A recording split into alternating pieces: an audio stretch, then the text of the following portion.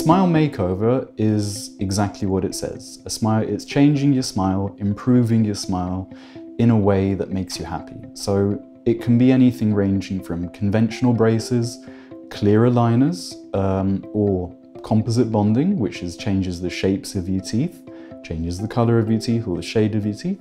Or you could have porcelain veneers, porcelain crowns. All of these are different options when it comes to a smile makeover.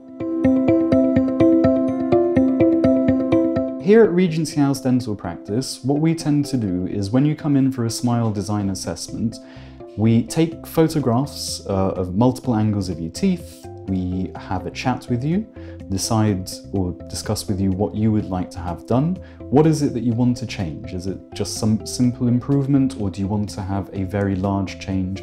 Everyone's very different. Uh, and once we've decided what you wish to do, we then do a 3D scan of your teeth, which we use to digitally design your smile. Whether this is through, again, orthodontic alignment, or if we're doing composite bonding or porcelain veneers, we do everything digital here at the practice. So smile makeover costs, it depends on what kind of smile makeover you're having. So if it's just a case of minor adjustments to your teeth, whether it's the shape of your teeth or the shade of your teeth, like the color, then that's simple whitening and what we'd call composite edge bonding, where we go around the edges of your teeth just to change their shape a little bit, maybe make them slightly wider or slightly longer. These are costed at hundreds of pounds, maybe 100 pound, 150 pounds per tooth. That's on the lower range. However, if you're going to have a complete change of the smile, which may include orthodontics, uh, like Invisalign. So Invisalign can start from £1,800 all the way up to £4,000 plus. Again, it depends on the amount of work that you need done. If you're having composite bonding, if it's a full arch case, it's different than if you're doing a couple of teeth with composite veneers. So a veneer may cost you, a composite veneer may cost you 300, 400 pounds, whereas a full arch case where you're doing 10 or more teeth will cost you multiple thousands. And the same obviously applies for porcelain veneers. So porcelain veneers are naturally the highest quality and the highest cost. They can range anything from, again, maybe one or two teeth, which would cost maybe in the early couple of thousands, up to a full arch, which can cost in the tens of thousands. It really does depend on what you're having done, and we would discuss this with you and make sure that we're happy with everything that's being done. So when we uh, smile design, the first thing we do is the 3D scan and a digital mock-up. What we do with the mock-up is that we have um, Photoshop on your teeth, or we use special software that simulates what your teeth would look like in certain positions or with certain shapes. We take into account everything in your face, not just the shapes and sizes of your teeth. Once that has been approved and once we're happy, uh, and we've communicated with the digital lab that this seems to be suitable, we actually have a physical mock-up made and we test it in your mouth. So what you do is we try to make it similar to if you're going to have a dress rehearsal or you're having a tailored suit.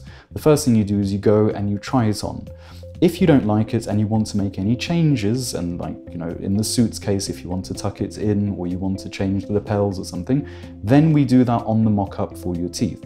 So you could say, the teeth are too broad, or they're too thick, or they're too long.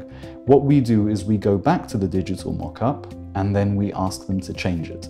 The advantage of this is that you actually physically feel it and see it in your mouth. So it's not a hypothetical screenshot, you actually physically get to test it before you have the final choice.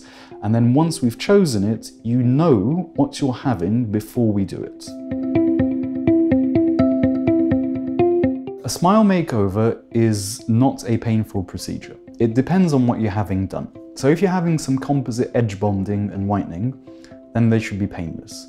If you're having orthodontic alignment, anyone who's had experience with orthodontics previously will know that the teeth feel a little bit tight as they're moving, but you should not be experiencing any pain.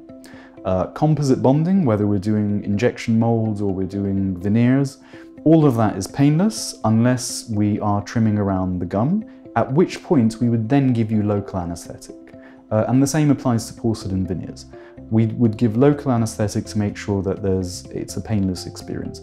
But the short answer is no, because we control it and we make sure that it ends up being a painless experience. There's no recovery time per se uh, with, a, with a smile makeover. If you're having a little bit of edge bonding or you're having some orthodontic alignment, it depends on the length of the treatment.